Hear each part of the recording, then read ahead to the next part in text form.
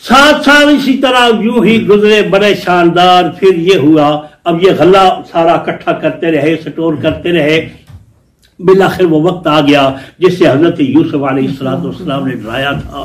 اب یہ قحط صرف مصر میں نہیں تھا، فلسطین تک پھیلا ہوا تھا۔ بیت المقدس جہاں حضرت یوسف علیہ السلام کنعان میں فلسطین میں رہتے تھے، ان کے جو دوسرے بیٹے تھے، وہ بھی وہی کنعان میں موجود تھے۔ تو یہ پھیل گیا قحط پورے اس علاقے میں یعنی فلسطین تک میں نے عرض کیا ہے نا وہاں۔ اب حضرت یوسف علیہ السلام کی فیملی اور گرد و نواح کے علاقے کے لوگ، ملکوں کے لوگ، جب وہاں قحط پڑا تو انہوں نے کہا کہ اب کیا کیا جائے؟ پہلا سال تو لوگ ہوتا ہے گھروں میں کچھ پڑا ہوا یار حالات خراب ہو رہے ہیں، بارشیں رک گئی ہیں، اب اناج اگ نہیں رہا۔ اس لیے تھوڑا تھوڑا بچاتے رہو۔ یار کل کا کوئی پتہ نہیں۔ یہ بات ذہن میں رہے کہ کبھی اپنا انتظام لوگوں نے خود کرنا ہوتا ہے، اپنے سسٹم اپنے ڈیزائن اور اپنی سوچوں کے مطابق۔ پرانے زمانے میں آپ کو یاد ہے کہ بنی اسرائیل کو رب العالمین جل جلالہ نے موسیٰ علیہ السلام کی قوم کو اللہ نے آسمانوں سے کھانا عطا فرمایا تھا۔ من و سلوا جس کو کہتے ہیں۔ وَانزلنا علیکم المنہ والسلوا من و سلوا یہ کہاں سے آتا تھا جی؟ اچھا جی آسمان سے۔ اب رات کو آتا، لوگ صبح کھا لیتے اگلے دن پھر آ جاتا، یوں ہی یہ سلسلہ چلتا رہتا۔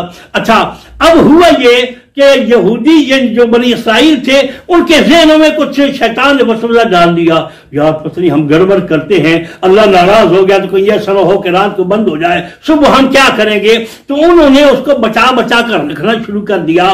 باسی، اب یعنی ایک دن کا تھا نا اب دوسرے دن پڑا ہے وہ وہ کہتے کہ جلدی جلدی کھا لو۔ کہیں یعنی بندے کو اپنے کرتوتوں کا پتہ ہوتا ہے۔ ان کا بھی یہی طریقہ تھا۔ لیکن رب العالمین جل جلالہ نے، اب فرماتے ہیں کہ حضرت آدم علیہ السلام سے لے کر حضرت موسیٰ کریم اللہ علیہ السلام کی قوم کی اس کرتور سے پہلے کہیں بھی اناج خراب نہیں ہوتا تھا، کھانا خراب نہیں ہوتا تھا، لیکن جو ہی انہوں نے اللہ پر اعتماد کو ہٹایا اس کے بعد کھانے روٹیاں خراب ہونا شروع ہو گئی، سالن خراب ہونا شروع ہو گئے، اس سے پہلے نہیں تھا۔ حضرت یوسف علیہ السلام کے بعد لوگ آتے، دور دور سے اب ہاں جی کھانا دے دی۔ پہلا سال تو لوگوں نے گزار لیا، اپنے گھروں سے پھر اپنے شہروں کے بازاروں سے جہاں کوئی اناج ملتا تھا وہ اب دوسرا سال آیا تو کچھ نہیں۔ اب کیا کریں جی؟ بھائی مصر میں ایک بندہ ہے جس کا نام یوسف ہے، بادشاہ ہے تو اس نے بڑے کھلے خزانے رکھے ہوئے ہیں۔ چلو جی جاتے ہیں، وہاں سے جا کر لے آتے ہیں۔ اب وہاں منڈی لگی ہوئی ہے جی مصر میں۔ حضرت یوسف علیہ السلام والسلام کے پاس لوگ دور دور سے آتے ہیں اور لے کر جاتے ہیں اناج پہلے کچھ نے کچھ پیسے دیے، کچھ زیورات دیے یعنی پہلے سال تو یہ سلسلہ چلتا رہا کہ لوگوں نے اپنے گھروں سے جو بچا بچایا تھا، اس پر گزارا کیا۔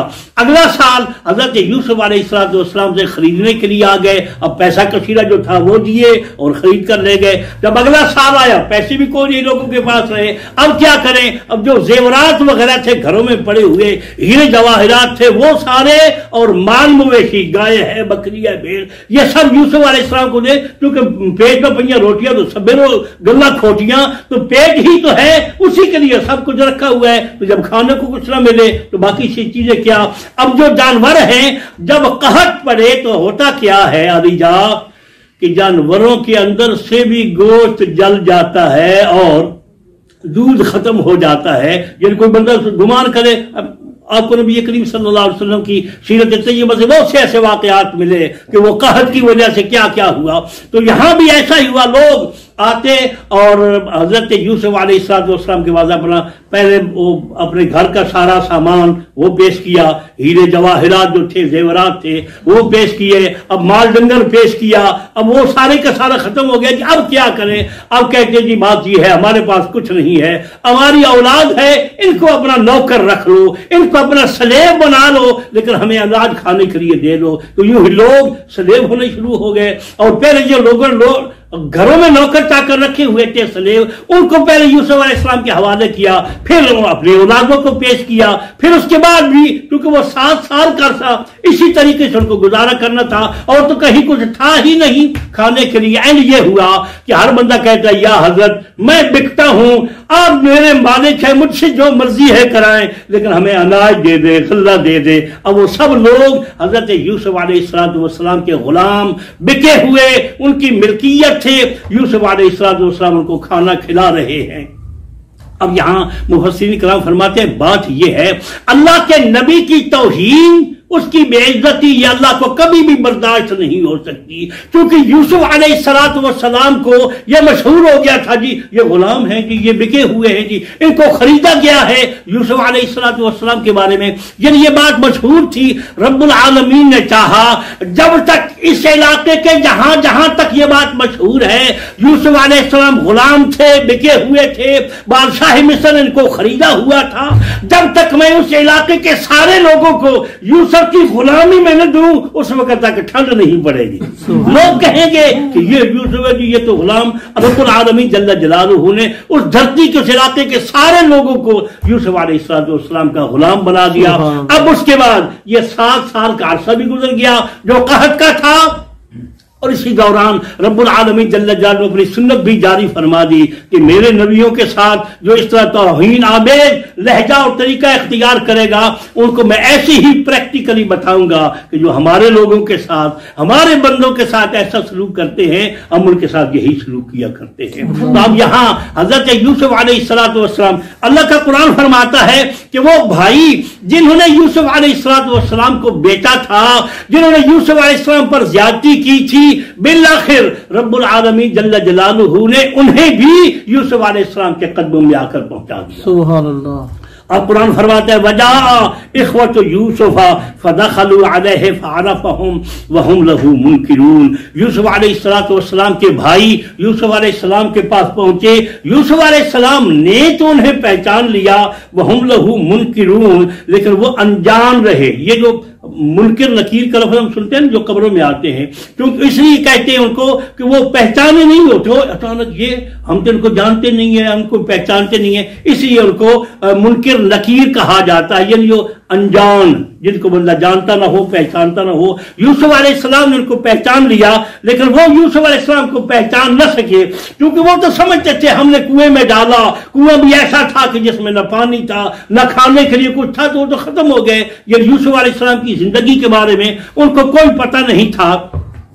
اب انہوں نے یوسف علیہ السلام والسلام سے مطالبہ کیا، اب بھائی بھی سکا بھی ہو نہ جی تو جب اس کو ضرورت پڑے، بندے کو یاد آ جائے، تو نے میرے ساتھ یہ کیا تھا یہاں بہت کچھ ہوتا ہے جی ہمارے ملک میں کئی کئی سال بندہ جو ہے وہ اپنے پیسے بھیجتا رہتا ہے، میرا بھائی میرے لیے پراپرٹی بنا رہا ہے پراپرٹی اب اس کے بعد باپ گیا بھائی چلا گیا، اب رہ گئے باقی بھتیجے۔ اب وہ کہتے ہیں، تو کون اور ہم کون؟ تیرا یہاں کچھ نہیں ہے۔ ہم نے یہ خود محنتوں سے کمایا ہے، پھر وہ روتے ہیں اور اس کا کوئی حل نہیں نکلتا۔ لیکن اللہ کا نبی یوں بدلے نہیں لیا کرتے۔ یہ جو کچھ ہوا نا اگر یوسف علیہ السلام خود کرتے تو بندہ کہتا دیکھو جی ہم ان کو کریم کہتے ہیں اور وہ یہ سلوک کر رہے ہیں قوم کے ساتھ۔ اللہ۔ نے فرمایا ہم نے کیا یہ سب کچھ۔ یوسف علیہ السلام اب یوسف علیہ السلام کی ذات کریم جو ہے وہ کیا کرے گی؟ اللہ کا قرآن فرماتا ہے ولما جہازہم بجہازہم سبحان اللہ ان کے بھائی جب حضرت یوسف علیہ السلام کے بعد پہنچے پہچان تو وہ تو نہ سکے یوسف علیہ السلام ان کو پہچانتے تھے۔ ان کی ضرورت کی ہر چیز حضرت یوسف علیہ السلام نے ان کے دامن میں ڈال دی۔ یہ لے جاؤ۔ سبحان اللہ اچھا پھر ارشاد فرمایا قالا تونی بأخلکم من ابیکم سنو انہوں نے پوچھا نا کہ تمہارا کوئی اور بھائی بھی ہے؟ تو وہ کہتے ایک ہے، لیکن باپ ہمارا بوڑھا ہے، اس کی لک آفٹر کرنے والا کوئی نہیں ہے، اس لیے ہم اس کو وہی چھوڑ آئے ہیں۔ اچھا جی اب تھے حضرت یوسف علیہ السلام کے ٹوٹل بھائی کتنے تھے جی؟ گیارہ۔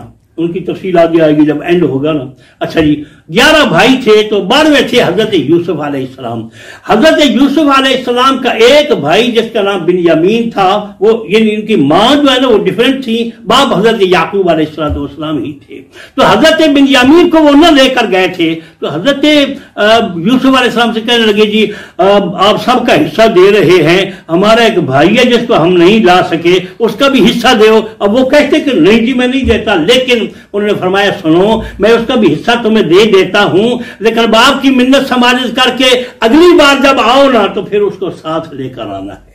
تو بے اخلا کو میں نبی اپنے بھائی کو بھی اپنے والد صاحب کی اجازت سے میرے پاس لے آنا۔ اللہ ترونانی اوفل کہلا وانا خیر المنظرین دیکھو نا، میں کتنا بہترین سلوک کرنے والا ہوں تمہارے ساتھ، اور میں نے تمہیں پیمانے بھر بھر کے دیے ہیں، کوئی کمی چھوڑی ہے؟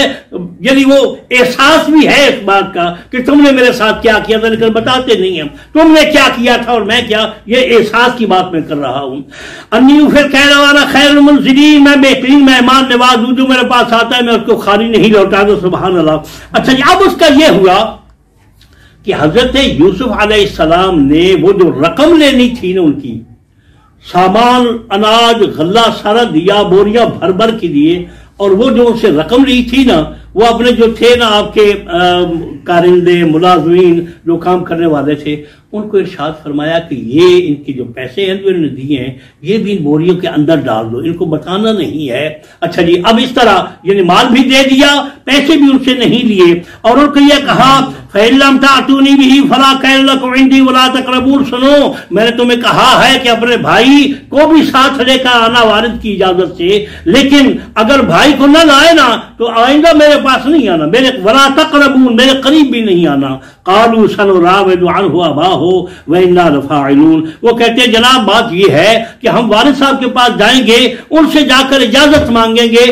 اگر انہوں نے اجازت دے دی تو بسم اللہ، اور اگر اجازت نہ دی تو پھر تو ہمارے پاس کوئی حل نہیں۔ لیکن وانا لفاعلون، ہم ضرور ایسا کر لیں گے۔ اپنے باپ کو منوا لیں گے اور وہ ہمیں دے دے گا۔ وقار لفتيان هجروا بداعتهم في رحالهم لعلهم يعرفونها۔ اذا انقلبوا الى اهلهم لعلهم يرجعون۔ یہ میں نے پہلے عرض کر دیا کہ یوسف علیہ السلام نے اپنے جو کارندے تھے ان کو کہا کہ یہ جو ان کا سامان ہے نا، اس کے اندر ان کی جو رقم ہے وہ رکھ لو۔ اب وہ گئے، واپس جا کر اپنے والد صاحب کے ساتھ۔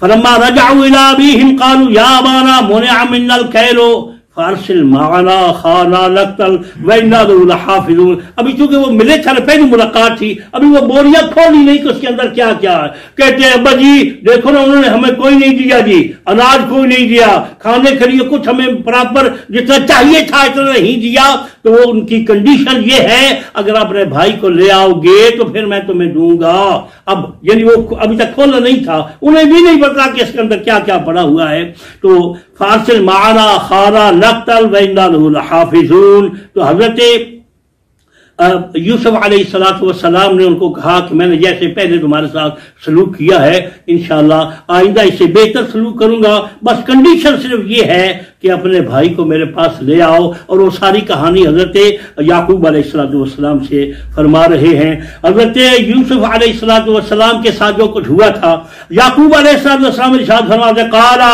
الا منکم علیہ الا کما امنتکم علی خیہ من قبل؟ ایک بار جس سے بندہ ڈسا جائے دوبارہ تو اسے نہیں ڈسا جاتا۔ تم نے میرے بیٹے یوسف کے ساتھ جو سلوک کیا تھا اب میں کیسے مان جاؤں کہ تم میرے اس بیٹے کے ساتھ اچھا سلوک کرو گے؟ اس لیے میں بالکل تیار نہیں ہوں۔ تمہاری بات ماننے کے لیے حل آمن حکم آلے ہے اللہ کما امن تکم اللہ من قبل۔